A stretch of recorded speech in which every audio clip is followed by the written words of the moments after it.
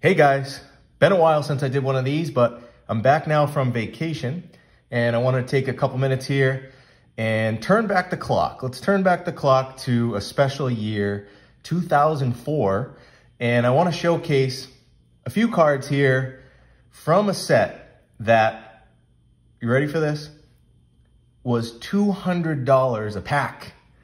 In 2004, so late August 2004, Fleer upgraded the EX brand, which many of you will know, a very famous brand from the late 90s all the way up to, you know, 2004 here. And they upgraded that EX brand into a $200 a pack mega premium brand. Uh, these were hobby only. Uh, each pack contained seven cards, four base cards, a serial numbered rookie card, an auto card, and a game used patch card. So this would this would be the final year of the coveted essential credentials parallels. And actually, as I mentioned, EX as a brand altogether, because Fleer went out of business and went bankrupt in 2005. So let me show a card here. This is a Pedro Martinez Essential Credentials Future. And this one is numbered to 61, as you can see there. Now, the thing with these is many of these that are out there are missing serial numbers. And a lot of that has to do with, uh, and when I say many of these, not just this Pedro card, but across the three sports, football, basketball, baseball, a lot of these numbered cards in the set, like the essential credentials, there's a bunch of them out there that are unnumbered. And that's due to copies getting out through bankruptcy, quality control copies. Now, they're not fake cards, but they're just, you know, the same card, but it's just going to be missing the serial numbers. Which, and I have one of those that I'll show here in a minute. So obviously, if you can find the ones that have the serial numbers, those are the preferred ones. Uh, but I, as you'll see here, I'm not opposed to certain ones that are missing the serial numbers, and I'll go into that in a second. But so that's the Pedro one. Now, as you may know, uh, with Essential Credentials and all the sets, they have an Essential Credentials future and a now. And the serial numbering is going to vary. So like with, with uh, Pedro here, it's numbered to, like I said, 61. And the other one is going to be numbered to five in, the, in this set here by him because everyone's going to add up to 66. So every player, whatever the numbering is on the future, you're going to add that up to 66. So whatever that comes out to be, and that's what, what the, the now is gonna be. So basically there's 66 essential credentials for each player in the set, and it's just gonna be divided by two. So let me show you here, let's switch sports. We're gonna go over to Tom Brady. Beautiful design. And, and I also wanted to say that too. I, I feel like this is one of the sets of EX that gets overlooked a little bit because, you know, there's so very famous ones like in, um, you know, for baseball, 98, where you have the, you know, the, the essential credentials that are, go for huge dollars. And you have the, the green one and the, you know, the, the kind of the purple, purple, pink one, red, pink, whatever you want to kind of call that coloring. But, you know, this, the, the late 90s, like 98, they get most of the, the praise, I think. Uh, but as you see here, they went all the way into 2004 and uh, I, I, really like some of these designs like this in the uh, 2000s. So it's called 90s cards, but really, you know, when I talk 90s cards, for most of the sets and the player runs and stuff, I'm going all the way into like the mid 2000s, 2004, 2005. And for, I know a lot of other collectors that collect certain players um, that go well into, you know, well further into that, that collect all the way up into 2007, 2008. So when I say 90s cards, it's really that period of the late 90s, mid late 90s, all the way up to the mid 2000s. It's 10 years, really a 10 year stretch where I really love those cards. So with Brady here, this is the base card. Now that's the other thing about EX. Um, the base cards in the EX sets, they, they look, they look like chase cards that you'd see now. I mean, this is a base card. Uh, this SGC 9.5, man, these are very difficult to grade as you could tell by the design. You don't see many high grades on these cards. Um, so this being a 9.5, this one I had graded myself I, I bought this one ungraded off of eBay back in the day and, and sent it in. So as you see here, you know, base card. Now, a huge card is sort of this one. So this is the, the Brady Essential Credentials Now that is normally numbered to 19. And so this was graded, again, I, had this card graded by Beckett myself. Uh, one of the, I think the only card I've ever sent into Beckett.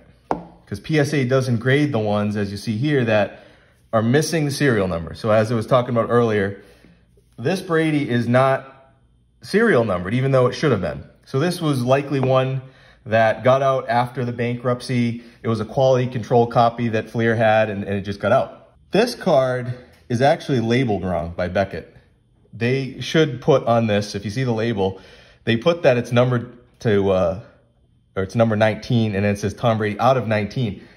It's not serial numbered. So normally it is out of 19, but they should have put missing serial number on this, which they didn't do. So not that I'm going to sell this card anytime soon. If I ever do, it will be down way down the road. But when the time would come that I would sell this, you know, in my opinion, it's very important that, like if I put it up on eBay, that in the listing title, I think it's, um, you know, ethical to put that it's missing the serial number. You know, people will see that anyway, but Beckett did not label that correctly. But here's the thing.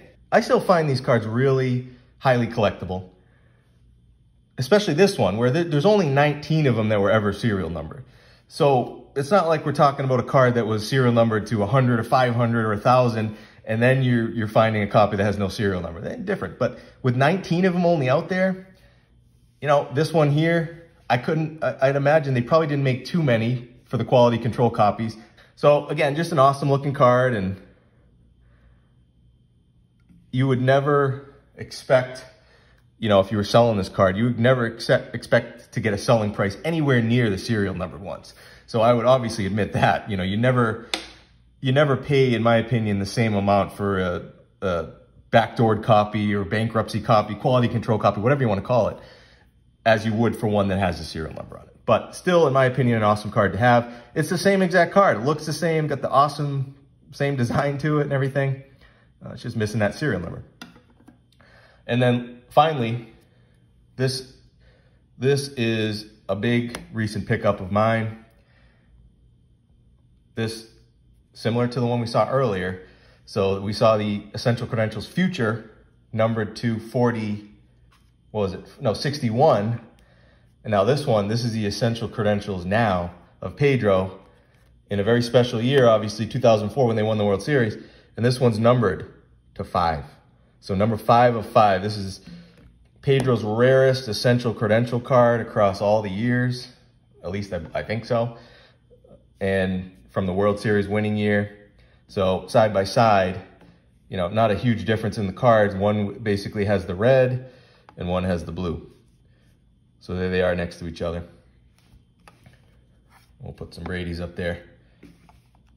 You know, so what do you what do you guys think? What do you guys think about I guess first off, um, that these, these were 200 bucks a pack. See, I, I wasn't, I wasn't buying packs. I wasn't buying anything in 2004 other than just singles off of eBay. I had no clue about what was coming out for new products or anything like that. So this was all news to me when I learned about it, that they were going for $200 a pack. Any of you guys out there that were buying cards in 2004, what did you think? Did you see these things, 200 bucks a pack at the, at the hobby shops? pretty crazy. Uh, and you know, one last thing too, with especially with the uh, the bankruptcy copy here or the whatever you want to call it, quality control copy. I, I find it interesting because there's a lot of negativity around these type of cards from the you know 90s and early 2000s where they're again authentic cards. They're the real deal. They just weren't in the packs. You know, they got out after the fact. And people really are kind of down on, a lot of people are down on that. They, they think they're crap. I've heard even people calling them fake cards. And I think people go a little too far with that because if you think back on the history of the hobby and some of the vintage cards, here's a good example. 1961 Topps dice game cards, right? There's like, at least with Mickey Mantle, there's I think four, three or four that have ever surfaced. And if you know the history of those, they were a test issue that never got out. They were meant to be out. They somehow escaped from the Topps, and only, again, maybe four of them got out, four sets of them. And pound for pound, it's probably Mickey Mantle's most expensive card. I think like a PSA 1 goes for 400,000 bucks or something crazy like that. So clearly, with vintage cards, the cards that never got into packs but still somehow got out, you know, they have a huge collector base or, you know, they go for big money when they get out. But with the 90s and the 2000s, when you have cards that, like this Brady card where it's missing the serial number, uh, still the real card, uh, it's really, for some people, they have a strong negativity towards it. So I get it. Like I said, I don't expect one without the serial to sell for really anywhere close to the serial number version. But I still think they're collectible, depending on the card and the player. Anyway, love to hear your thoughts in the comments, guys. Thanks for watching this one. Be back with another one soon.